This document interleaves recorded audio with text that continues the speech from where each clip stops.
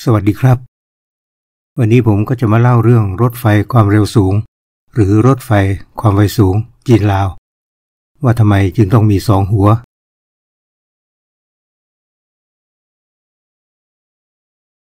การมีสองหัวนี่หมายความว่า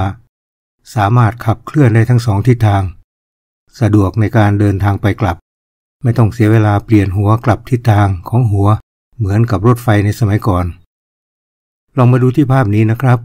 จะเห็นว่าหัวรถจักรก็มีทั้งสองหัว ทั้งซ้ายและขวา ทั้งสองหัวก็มีขนาดไม่เท่ากัน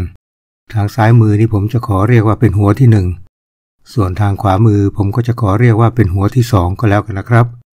ส่วนการเรียกเป็นทางการ ก็ไม่ทราบว่าจะเรียกอย่างไร หัวรถไฟทางซ้ายมือก็มีขนาดยาวกว่าหัวรถไฟทางขวามือ สังเกตว่ามีหน้าต่างด้วย ก็เป็นที่นั่งของผู้โดยสารชั้นหนึ่ง ตู้นี้ก็เป็นตู้เดียวกันกับหัวขับเคลื่อน ส่วนทางขวามือก็ไม่มีผู้โดยสาร คือเป็นหัวที่มีห้องควบคุม หรือเป็นห้องเฉพาะกิจ หรือเป็นห้องพักของพนักงานขับรถ เพราะผู้ขับรถไฟเดินทางมาไกล มาถึงจุดหมายก็ต้องพักผ่อน และให้พนักงานอีกชุดหนึ่ง เป็นผู้ขับรถกลับ หัวทางซ้ายมือก็เป็นหัวที่ขับเคลื่อนขาขึ้น คือเดินทางจากเวียงจันทร์ขึ้นไปทางเหนือไปถึงสถานีบ่อเต็น ส่วนทางขวามือก็ขับเคลื่อนลงมาทางใต้ จากบ่อเต็นลงมาถึงสถานีนครหลวงเวียงจันทร์ ในคลิปต่างๆ ถ้าเราเห็นการเคลื่อนของหัวรถไฟ เราก็จะทราบว่าเดินทางจากเหนือไปใต้หรือจากใต้ไปเหนือ เมื่อครั้งที่เคลื่อนขบวนรถมาเพื่อเตรียมมอบให้กับทางการลาว ขบวนล้านช้างก็ออกเดินทางมาเมื่อวันที่ 13 ตุลาคม 2564 ก็มาพักค้างคืนที่หลวงพระบางหนึ่งคืน วันที่ 15 ตุลาคม ก็ออกเดินทางมาถึงนครหลวงเวียงจันทร์ราว6โมงเย็น ก็มีพิธีต้อนรับการเดินทางมาถึงสถานีด้วย และก็จะทำพิธีมอบให้ทางการลาว ในวันที่ 16 ตุลาคม 2564 หรือปี 2021 การเดินทางก็จะลากหัวที่2มาก่อน เพราะฉะนั้นการทำพิธีเปิดป้าย ก็จะกระทำที่หัวรถไฟหัวที่สองเป็นหัวรถจักรที่อยู่ทางขวามือ หัวรถจากทางขวามือนี้ไม่มีตู้โดยสาร ก็จะเป็นตู้ควบคุม จะเข้าสู่สถานีนครหลวงเวียงจันทร์ก่อน ส่วนหัวรถไฟทางซ้ายที่มีหน้าต่างก็จะเป็นตู้โดยสารชั้นหนึ่ง เราเรียกว่าเป็นตู้โดยสารตู้ที่ 8 เพราะฉะนั้นก็จะเรียกว่ามี 8 ตู้ ไม่นับรวมหัวรถจักรที่อยู่ทางขวามือ หมายความว่า เมื่อพูดถึงตู้ที่ 8 ก็จะหมายถึงตู้โดยสารชั้นที่ 1 ที่เหลือก็เป็นตู้โดยสารชั้นที่ 2 ในคลิปนี้ก็อยากจะให้ดูการนำขบวนรถไฟล้านช้าง มามอบให้กับบริษัทรถไฟลาวก่อน ในคลิปนี้ถ้าเห็นรางรถไฟคู่หรือรางสองสาย ส่วนนี้ก็จะอยู่ในประเทศจีน หัวจากรถไฟตู้นี้ก็ไม่มีหน้าต่างเป็นหัวควบคุม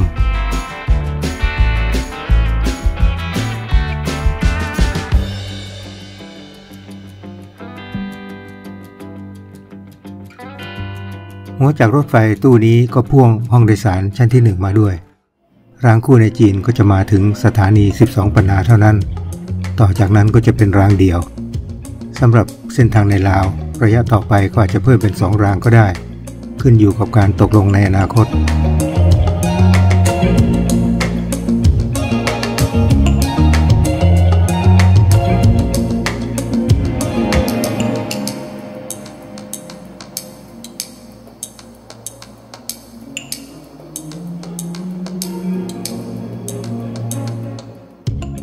ที่จริงรถไฟขบวนล้านช้างก็สามารถเล่นด้วยตัวเองได้ แต่การนำมาส่งมอบให้เราก็ต้องใช้หัวจักรลากมา ก็เป็นความคิดที่ละเอียดทุกขั้นตอน คล้ายกับการจูงมือเจ้าสาวมามอบให้ ทั้งที่ขบวนรถไฟล้านช้างก็สามารถแล่นด้วยตนเองได้ การลากมาในลักษณะเช่นนี้ก็จะเหมาะสมกว่า คลิปนี้ผมก็ได้นำมาให้ดูทั้งหมด จะได้เห็นทุกขั้นตอนในการเดินทาง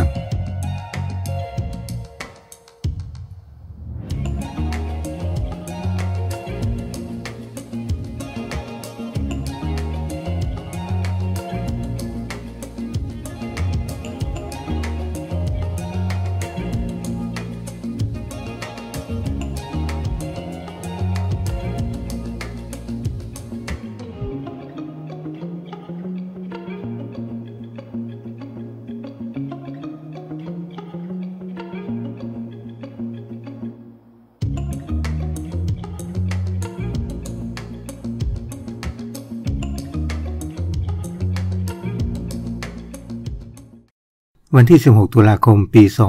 2021 ก็มีพิธีรับมอบรถไฟขบวนล้านช้าง ที่สถานีรถไฟนครหลวงเวียงจันทร์ ในพิธีเปิดป้ายผู้ที่ยืนทางด้านซ้ายมือ คือท่านเจียงจายตง เอกอัครราชทูตจีนประจำสปปลาว ส่วนทางขวามือก็คือท่านเวียงสวัสดิ์ศรีบันดอนเป็นรัฐมนตรีกระทรวงโยธาธิการและขนส่ง หัวจากรถไฟหัวที่หนึ่งและตู้โดยสารชั้นที่หนึ่ง ที่สถานีนครหลวงเวียงจันทร์เรียกว่าตู้โดยสารที่ 8 ที่เห็นไกลๆนะก็คือตู้โดยสารชั้นที่สองเป็นตู้โดยสารคันที่หนึ่ง